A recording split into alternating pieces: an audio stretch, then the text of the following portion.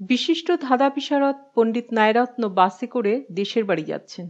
দু এক স্টপ যাওয়ার পর তার পাশে এসে বসল বছর কুড়ির একটি ছেলে।